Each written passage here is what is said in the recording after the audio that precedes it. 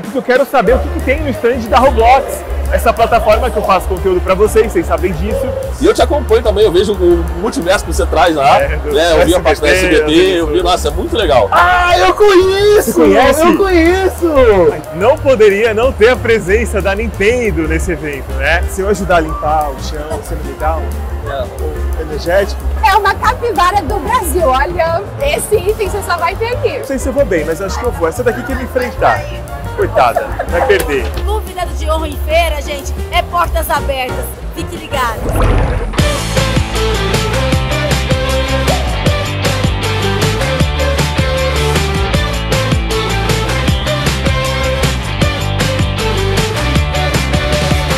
Cheguei, gente! Hoje eu tô prestigiando a Gamescom Latam, o maior evento de games do mundo pela primeira vez no Brasil. Olha, super lançamentos nessa edição, coisas incríveis, muitas novidades, as principais empresas dos mundos dos games aqui presente. Vocês vêm comigo acompanhar agora Gamescom Latam. Bora!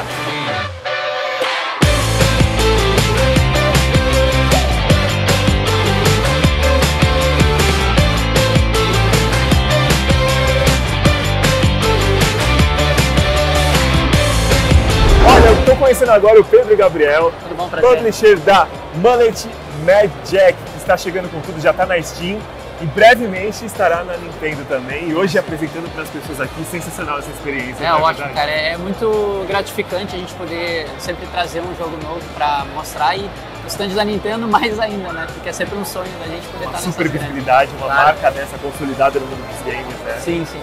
Eu queria que você falasse um pouquinho como que funciona esse jogo, o estilo dele, que o pessoal que está assistindo consiga entender. Certo. O Mullet é um jogo de FPS, um jogo de tiro, com uma pegada bem rápida, bem frenética.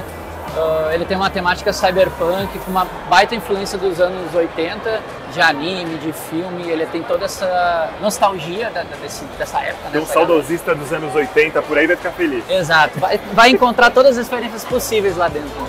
E o jogo ele tem uma, uma narrativa ali de é, tu luta contra robôs, vamos dizer assim, e tu é um personagem que é viciado em dopamina. Então a tua vida está dependendo de quanto dopamina tu consegue.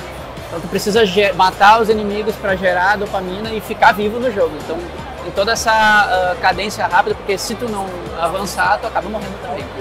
Vocês têm outros jogos também que vocês estão produzindo? Então, a Epopeia spoiler? é a publisher, né? A Tá. gente não é o desenvolvedor, o desenvolvedor está aqui também no evento.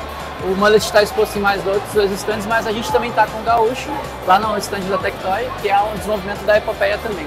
São os dois lançamentos que a gente está trazendo para esse ano. aí. Parabéns pelo trabalho. Obrigado, obrigado.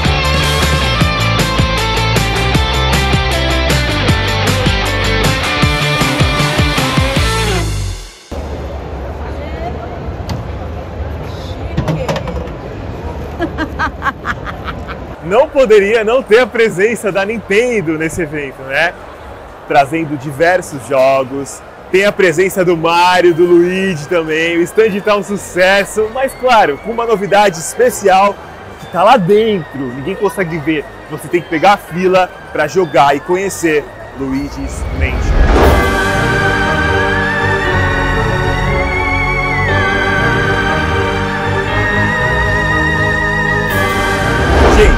Estou com ele aqui, tudo bem? Tudo bom. Desculpa estar te atrapalhando. Primeira mão, ele tá jogando o novo jogo da Nintendo, Luigi's Mansion. O que, que você tá achando? Ah, eu tô achando espetacular. Eu sou muito fã do 3. Foi onde eu conheci a franquia, né? Aí é, eu tô gostando muito dessa, dessa, desse lançamento da Nintendo porque tá me fazendo voltar aos jogos que eu não joguei, acho que no GameCube, que foram essas gerações mais pra trás que eu não, não, não, eu não experimentei a Nintendo nessa época, né? Eu voltei agora com o Switch. E tô achando excelente. Por, por mim tem que lançar o 1 também. O 1, o 2 e o 3 pra formar a trilogia toda. Aí, obrigado, querido. Obrigado. O evento tá sensacional, gente. Mas o que eu mais tô curioso, o motivo de eu ter vindo pra cá é porque eu quero saber o que, que tem no stand da Roblox. Essa plataforma que eu faço conteúdo pra vocês, vocês sabem disso, eu adoro, que eu faço vídeo, crio jogos também. Então eu quero convidar vocês para acompanhar eu até o stand da Roblox. Vamos lá!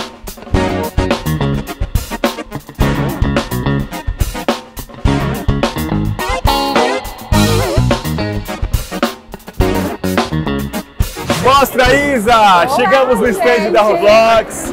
Isa, que sucesso estar contigo aqui. Queria que você se apresentasse primeiro. Prazer, prazer em conhecê-lo. Eu sou Isabela Riso, faço parte da equipe de relacionamento com desenvolvedores da Roblox. A galera que cria que faz a diferença, né? Todo mundo que cria, eu sou fã número um. É muito legal. E a Roblox, acho que ela cresceu justamente por isso, né? Por dar essa oportunidade de adolescentes, adultos entrarem nesse mundo com uma linguagem fácil de programação, começarem a empreender e trazer diversão e se descobrir, né? É uma plataforma para todo mundo, não tem barreira de entrada nenhuma. Você consegue publicar uma experiência em segundos. Então, assim, eu digo que tem muitas oportunidades na Roblox, realmente.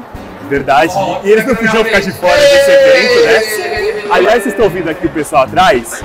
É o Lima Mosca E o iBugol. o iBugol. Eles estão hoje jogando com os inscritos, fazendo transmissão com o pessoal daqui. Sim, então todos os dias às 11h30 a gente vai ter esses jogos com os influencers. Até domingo então, teremos. Até domingo teremos. Você chega aqui, joga com eles e ainda ganha brindes. Também não Brindes. fica por aí. Outra oportunidade, temos às 5 horas todos os dias quizzes que você joga, acerta e ganha. Aqui vai ser só diversão e participando, envolvendo com os influenciadores. É a primeira vez que a Roblox vem pro Brasil? É a primeira vez que a Roblox está com stand de uma conferência do Brasil. Ai, que maravilha! E agora, o pessoal pede muito por um servidor brasileiro. Você tem algum spoiler sobre isso? Você poderia falar pra gente? Eu não tenho muitas informações sobre isso. Não sou capaz de opinar. Maravilha. O que mais que a gente tem de novidade que você está trazendo aqui? Essa parte dos jogos, interação. Eu queria saber se tem algum item lá no próprio jogo que a gente consegue ter acesso aqui ou é só físico mesmo? A gente tem os itens físicos que também vão ser dados para todo mundo que participar das palestras. Vai ter muito conteúdo sobre desenvolvimento e também item virtual. Se você responder ao formulário, você ganha um item exclusivo do evento para o seu avatar no Eu quero. É só preencher ali ou após todas as palestras também. Eu vou ter que encerrar a entrevista. É uma capivara do Brasil. Olha, esse item você só vai ter aqui. Vai ser exclusivo. Exclusivo só aqui, gente. Obrigado. Prazer. Sucesso sempre. Obrigada. Roblox crescendo cada vez mais, vai virar líder. Eu confio, eu acredito. Sucesso. Prazer.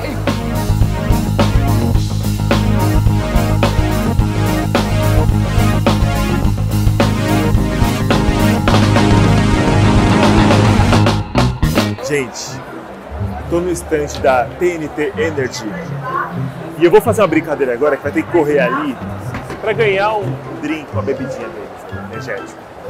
Não sei se eu vou bem, mas acho que eu vou. Essa daqui quer me enfrentar. Coitada, vai perder. Aguarde, vamos ver.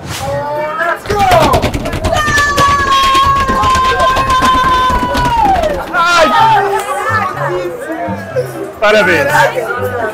Não foi dessa vez, gente.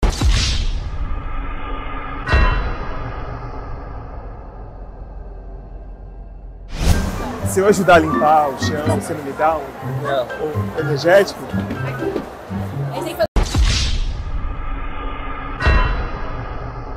Oh shit. Here we go again. Gente, o melhor do Roblox, além da gente usar a criatividade para fazer coisas diferentes, é cultivar as amizades, os contatos que a gente faz, né, ao decorrer da sua história. Muito legal estar aqui com o Lima Mosca. Tudo bem, querido? Tudo Como você bom? tá? Tudo bem. Jogando hoje com a molecada aqui no Nossa, stand? foi legal. Você, chegou, você viu, né? Joguei aqui, a gente fez uma interação legal, jogando jogos novos que estavam lançados na Roblox. A galera pôde participar porque a gente tem acesso aos computadores aqui do lado. A galera podia entrar pelo, pelo celular também e ganhar brindes. Só de parte, mano. Brinde é a melhor parte, Brinde é né? bom. Participou, ganhou o brinde, todo mundo sai feliz. Eu Se tiver ali jogando, aquele né? formulário rapidinho. ali isso lá. é um, um item exclusivo na sua conta. Isso é muito É legal. uma capivara, É uma capivarinha por cima da Roblox que fica aqui no seu ombro. É muito legal. exclusivo pra gente. Agora, É. a tua história. Quando que tu começou a fazer conteúdo de Roblox, na Roblox. internet? Cara, por acaso uma amiga minha chegou pra mim e falou assim: joga Roblox, eu. Roblox? Sei lá, eu não, eu não conhecia Roblox. Eu falei, sério, Roblox? Tá bom, vamos dar uma chance. E aí eu joguei, um, acho que todo mundo começa no hobby. Isso foi quando? Nossa, foi 2000, hoje estamos em 24, foi 2019, eu acho. Ah, antes da pandemia. Ou foi 2019, não, não, melhor, foi 2020. Pandemia. 2020.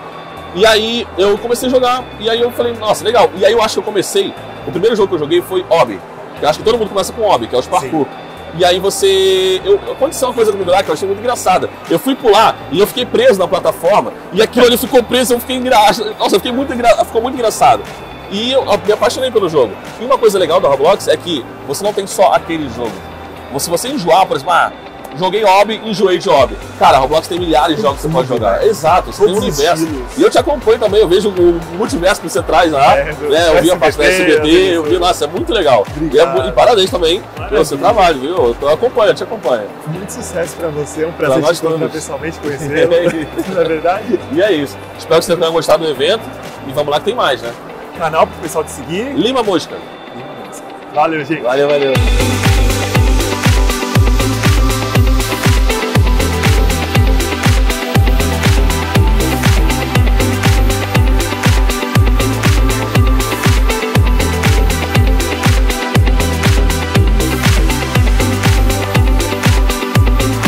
Agora o Ai Bugou, eu quero saber como que foi essa experiência, jogou com o Lima Mosca, ela você perdeu muito, ganhou, como que foi?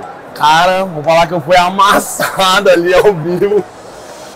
Eu tentei ganhar, mas ficou muito difícil. Eu tinha um cara ali no computador 5. Ah. Foi a primeira vez do cara jogando e o cara simplesmente amassou eu e o Lima. O Lima tava ganhando de mim. Ah. Só que aí chegou um cara ganhando de mim e do Lima junto, mano. Então o cara era muito bom, mano. O que que o Roblox representa pra você hoje?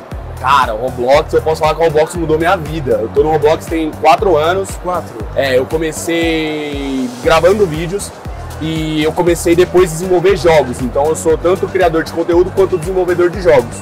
Aí hoje na plataforma eu tenho o meu estúdio de jogos, que é a Aibo Games. E aí a gente cria jogos e grava, né, conteúdo. os conteúdos em Isso. cima disso. E quais os jogos que você já criou lá, os, os estilos pelo menos? Cara, eu tenho. Eu tenho. No Roblox hoje eu tenho mais ou menos uns 20 jogos já. Caramba, bastante. É. E assim, tem diversos gêneros. Então tem jogos de simulador, tem jogos de, de Tower Defense, tem jogos de RP. É uma, assim, é uma gama variada, né? Então tem jogos de hobby, parkour, tem muita coisa. É o que eu tava falando com a Isa, aqui da equipe. O quanto que o Roblox proporcionou pra gente isso, de facilitar a parte do criador, né? Pra criar um produto, criar um jogo. É, tirou aquela barreira que os desenvolvedores antes era só um cara que tinha muito estudo. Muita gente consegue fazer, né? Se, se for atrás, se especializar ali de. Pelo YouTube tu consegue aprender muita coisa. É, né? muita coisa. Tu tinha curso de programação, alguma coisa já? Então, quando eu comecei, eu, eu fiz faculdade de sistema de informação. Ah, Então, então já é da tecnologia. É, então, calma, calma, calma.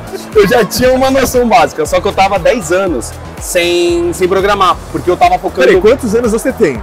Não posso falar. Ele falou É que fez a faculdade.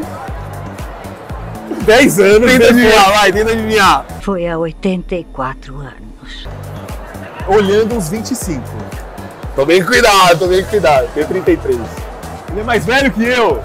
Comentem aí quem parece ser mais velho agora. Vão acabar comigo. já fez botox, essas coisas? Não. Eu já, não adianta. tá, mas continua. Aí tu fez a faculdade. É, então, aí eu tava 10 anos sem programar, e aí eu descobri, assim, a Roblox por acaso.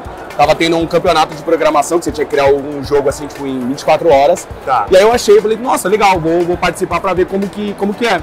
E aí eu voltei. E aí eu vi que era muito fácil, tipo, criar jogo na, na, na Roblox. Sim, sim. E aí eu, no, em 24 horas, consegui criar o meu jogo, tava publicando o meu jogo já. E aí eu gostei muito.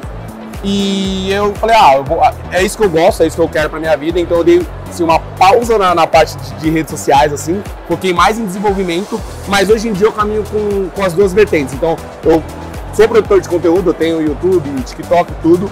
Mas também sou, eu gosto mais da parte de desenvolvimento. Então eu gosto de estar ali desenvolvendo jogos. Você gosta mais de modelar, de mexer com script, você faz um pouco de tudo. Então, quando eu comecei, eu, eu era sozinho, então eu tive que aprender tudo. Aí eu ótimo. meio que fui aprendendo tudo, mas hoje em dia eu faço tudo. É, minha equipe é, sou eu e mais duas pessoas hoje em dia. É, mas sei um pouquinho de tudo. Mas durante quase três anos aí, três anos e meio, fui eu sozinho fazendo tudo. Quero te convidar depois pra você visitar o meu mapa. A gente tem o SBT no Roblox, cara. Ah, eu conheço! Você conhece? Eu conheço! Ah, então agora Eu já vi, eu já vi, mano. Esse é é tipo o Silvio. Santos do Roblox. Muito só que bom, loiro, mano. Misturado com o Google, sabe? Celular, eu quero a resposta certa. Ah tá. Celular então foi o Galo Block. Galo Blocks ganhou 15 robôs.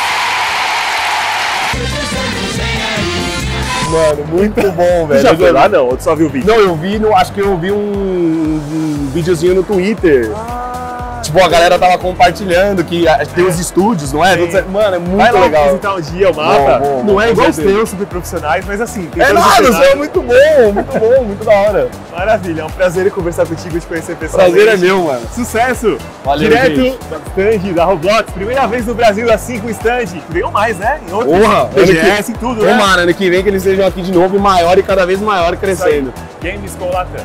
Tamo junto.